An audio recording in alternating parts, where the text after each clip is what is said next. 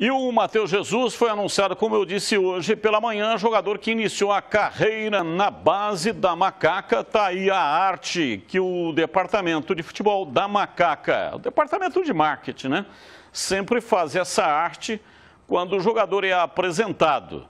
Matheus Jesus começou na base da Ponte e jogou em grandes clubes, né? O Red Bull Bragantino, antes o Corinthians tem uma passagem também pelo mercado internacional, mas não evoluiu da maneira que imaginávamos que ele pudesse evoluir. Eu vi o Matheus Jesus numa Copa São Paulo, a Ponte estava mandando jogos em Itu e me impressionou a qualidade técnica. Ele é um segundo volante, mas pode até jogar de meia também, porque tem muita qualidade técnica, imagens do Matheus Jesus com a camisa da Ponte. Ele caiu em desgraça ainda muito jovem porque errou um pênalti na Copa do Brasil. A Ponte foi eliminada contra o Cuiabá. E o Matheus Jesus também teve problemas extra-campo que prejudicaram a sua carreira. Então, talvez essa seja a derradeira oportunidade, embora ele seja muito jovem, de reiniciar a carreira e retomar aquele caminho que projetava o Matheus Jesus para jogar na Europa e até chegar à seleção brasileira, porque bola para isso ele tem. Infelizmente, nos desvios dos caminhos da vida, ele pegou alguns atalhos na bifurcação que não foram legais para ele. Então, boa sorte ao Matheus Jesus e até para colaborar aqui com a nossa enquete. Gostou da contratação em CH?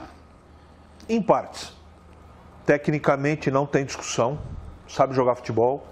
Quando ele saiu da ponte, eu tinha certeza que decolaria a carreira dele, mas o extracampo o atrapalhou. Não sei se ele tomou juízo, se não tomou. Talvez nas mãos do Eberlin ele volte para os trilhos e eu torço para isso, porque é um bom rapaz, sabe jogar futebol. Mas eu perdi a confiança. Nos últimos tempos a gente teve informações que não foram legais, ele sabe disso, e é uma oportunidade, como você acabou de colocar, dele retomar a carreira. Ele vem para o ninho, onde ele foi revelado. Aqui as pessoas gostam dele, respeitam ele. Agora ele precisa respeitar a profissão, ele precisa respeitar a camisa da ponte e a sua torcida. Se tiver juízo, vai funcionar. E para você, Tigrão, aprova a contratação do Matheus Jesus? Olha, eu aprovo, não só aprovo, como passo para vocês uma informação que acho que nós não, não veiculamos aí há dois meses atrás. Ou eu teria falado aqui, o Lupe, não sei, não me lembro. Mas o Gilson Kleina pediu a contratação do Matheus Jesus para o campeonato 2021. Você falou com a gente. Sabe por quê? Porque ele estava no Juventude, e o Juventude é outra divisão, então não há nenhum impedimento do jogador trocar, desde que estivesse dentro do período de inscrição da Série B. Ele poderia vir da A para B desde que as inscrições estivessem abertas. Tanto que ele foi parar no Náutico, né? Nessa última janela, podemos dizer assim, ou no último prazo de inscrição, ele foi para o Náutico, que conseguiu, não é, de alguma maneira, sensibilizar mais o jogador, seduzi-lo. E ele foi para o Náutico, e o Náutico tentou segurá-lo agora. Tentou segurá-lo de qualquer maneira. Então eu reputo como uma boa contratação. Tem sim aí o que falam de extra-campo, às vezes, né, se excede um pouquinho, mas ele é um baita de um jogador. E ele também tem que ter consciência que depois de todas as chances que teve em grandes clubes, inclusive no Esporte Clube Corinthians Paulista, de quem eu falava há pouco aqui, que ele vai ter agora que ou retoma ou vai tombar de bico, né, Matheus Jesus? Bola você tem qualidade de sobra para ser, quem sabe, um dos mais importantes jogadores da ponte. Mas tem que estar tá correndo, tem que estar tá indo dormir cedo, né?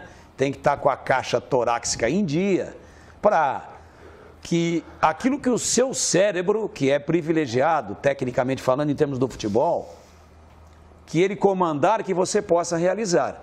Não adianta você querer realizar aquilo que você sabe fazer e o seu corpo não te atender à altura, não ter a explosão para realizar aquilo que você pode. Então, boa sorte. Eu acho boa a contratação e acho que na ponte, com o Gilson, com o presidente que também é disciplinador, que vai encostar e vai dizer, ô Caboclo, ó, te trouxe aí, mas tu vai me queimar com a massa, velho. Agora eu preciso de você. Eu acho que ele vai jogar, eu acho que ele vai ter um comportamento profissional e com isso vai ajudar muito a ponte. E me permita aí, Batista, mandar um abraço, era para eu ter mandado ontem, para a Célia Regina Gomes, que está vendo o programa, aliás, assiste todos os dias. Beleza? Célia Regina Gomes, um beijo para você, muito obrigado aí. A mana do nosso Valdemir Gomes, muito obrigado aí pela audiência. É, a Ponte deve anunciar aí nas próximas horas a contratação do lateral esquerdo Guilherme Oliveira. Estava no Juventude, jogou no Botafogo, vários clubes, começou na base do Vasco e deve ser anunciado. Esse a Ponte ainda não anunciou, a Sirene não tocou. Mas vai tocar. Mas vai tocar. É o próximo contratado. E aí? Guilherme Oliveira, lateral esquerdo. É bom jogador. Ele teve um probleminha eu, eu não tenho. Não, a gente não conseguiu apurar. O Júlio trouxe essa informação agora na Rádio Bandeirantes. A gente não conseguiu apurar, mas me parece que ele teve um probleminha de depressão. Quando estava no Botafogo. Agora, em setembro. Né? Exato. Então, é, resta saber como é que ele vai chegar. Ele tem 33 anos, é um cara experiente, sabe jogar futebol. Estiver tudo em ordem, e eu sempre faço essa observação porque o mercado oferece muitas oportunidades e às vezes os caras não estão aptos ou estão com algum problema grave. Por isso que um cara tecnicamente, como é ele, bom jogador, fica solto no mercado sem destino. Eu não estou dizendo que a Ponte só contrata isso, eu estou dizendo no caso dele. Então, de qualquer maneira, ele teve alguns probleminhas de ordem física, mas é bom jogador.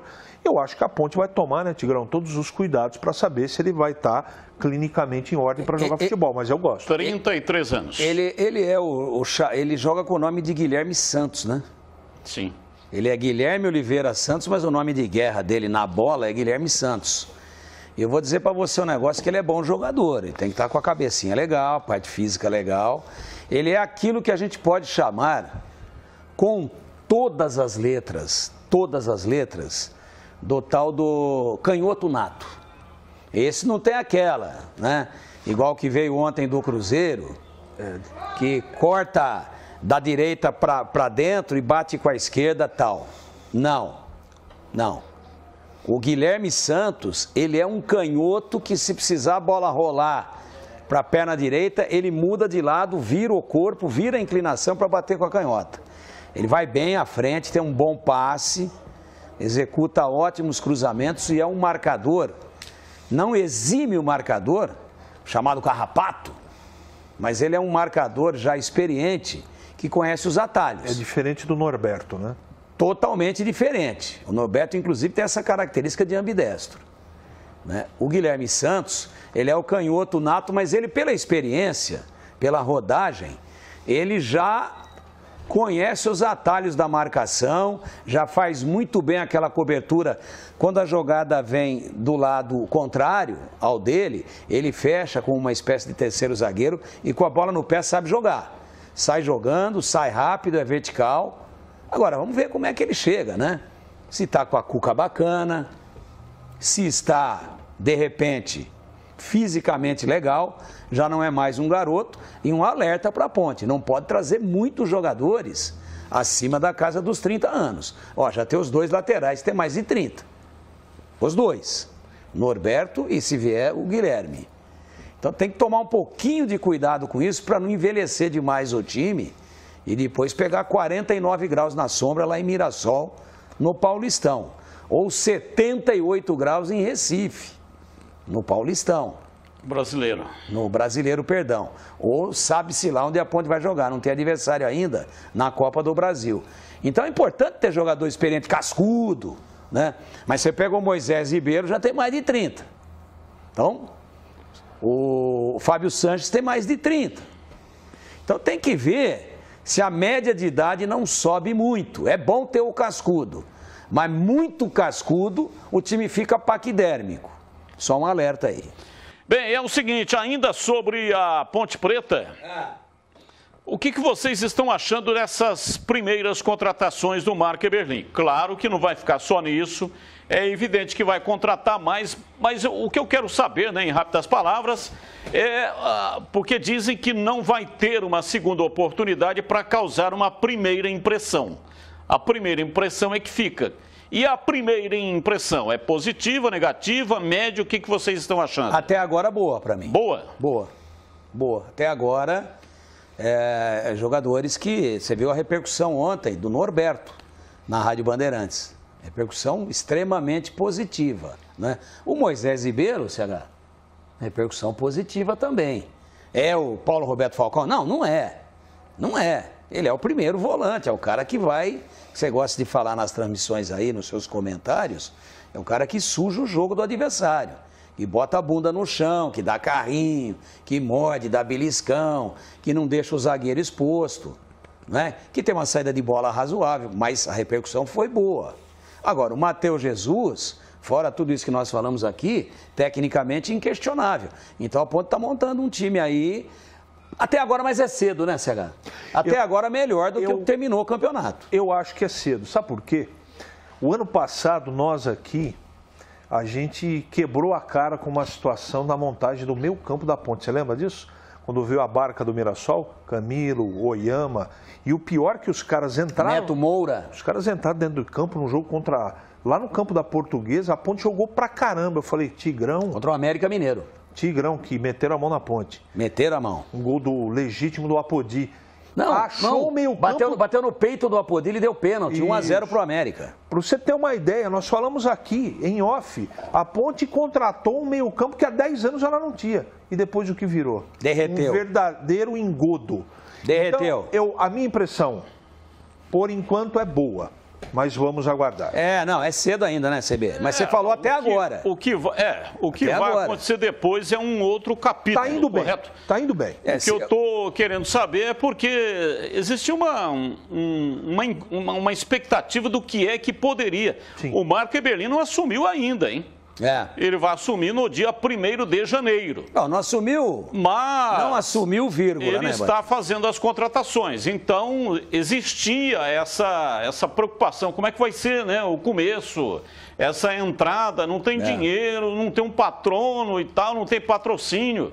E aí existia essa preocupação. Por isso que eu fiz a pergunta para vocês sobre esse primeiro momento a, do novo presidente a, da Ponte. Até agora tá legal e vai ficar melhor ainda se forem confirmados, não forem negociados, pelo menos para o Paulista, o Ivan e o Moisés Fumaça. Só,